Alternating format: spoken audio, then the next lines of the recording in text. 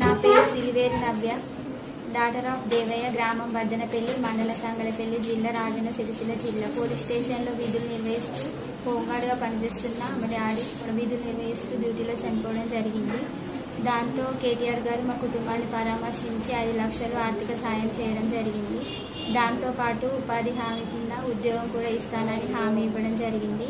అక్కడి నుంచి నాకు ఇక్కడ వెమ్లవాడ రూరల్లో కంప్యూటర్ ఆపరేటర్గా నియమించడం జరిగింది. దీంతో నాకు సాయం చేసిన మంత్రి కేటీఆర్ సార్ గారికి ధన్యవాదాలు తెలుపుకుంటున్నాను.